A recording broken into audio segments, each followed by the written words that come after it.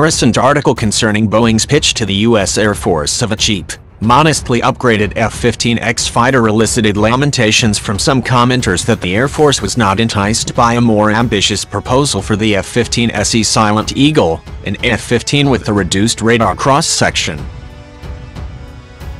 Reduced radar cross-sections, RCS, are a common feature in the cutting-edge O-4.5 generation fighters. Before reduced RCS engineering was widely understood, manufacturers designed fighter like the F-15 or F-16 that had an RCS of around 3 to 5 meters 2 or greater. By comparison, the US military's newest fourth-generation fighter, the FA-18EF Super Hornet, might as well be called the Silent Hornet with an RCS ranging between 0.1 and 1 square meter. The French Rafale has a 1M2 RCS, and the Swedish Gripen and Eurofighter Typhoon around F at 0.5 M2.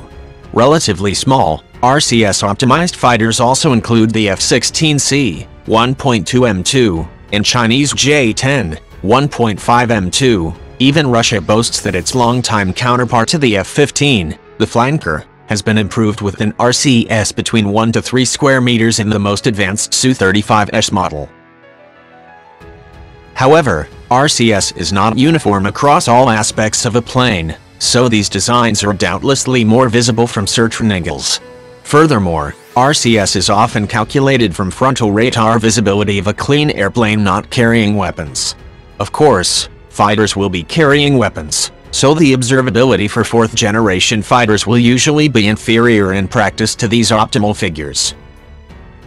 In 2009 Boeing unveiled a Silent Eagle demonstrator with stealth characteristics stemming from its use of a conformal weapons bay to store radar conspicuous weapons internally, application of expensive radar absorbent materials, RAM, and limited airframe modifications including outwardly canted vertical stabilizers. A conformal weapons bay has also been proposed for the Super Hornet, but the Navy has so far demurred. There were also updates that have since migrated to the proposed F-15X including an infrared search and track system, an improved APG-82 radar, modernized fly-by-wire controls, and an upgraded defensive suite.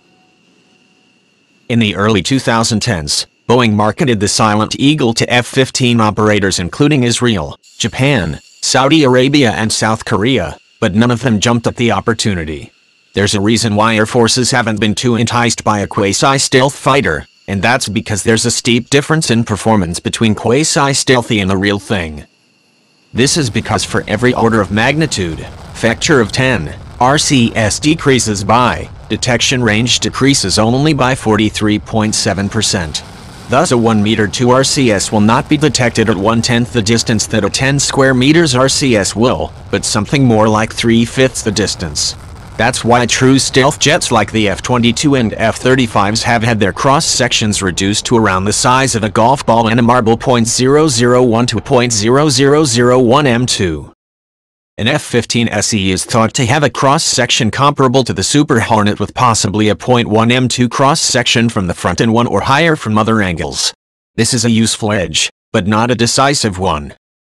First, Note manufacturer claimed detection ranges for average jet fighters for the following radars. Then consider the benefit of reducing RCS by an order of magnitude or two. Manufacturer claims are noted. The rest are derived from the above formula, and thus not authoritative but seem to conform with claims.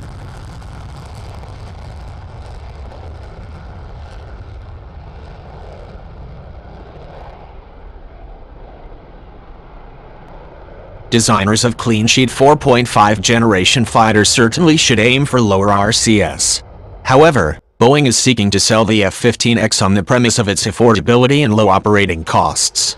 However, a Silent Eagle-style F-15 would entail a modified airframe and require expensive radar-absorbent materials, diminishing the cost savings.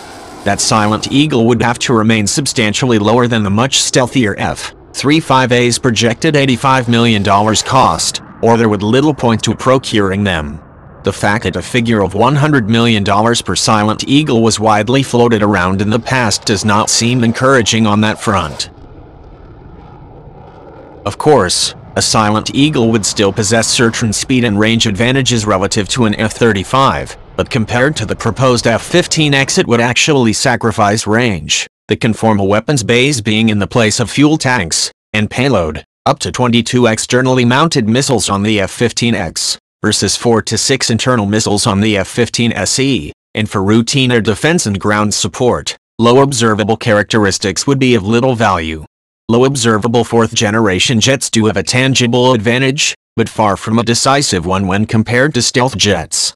Spending extra on stealthier F-15s would likely come at too high a cost for too little benefit when it comes to replacing the F-15C.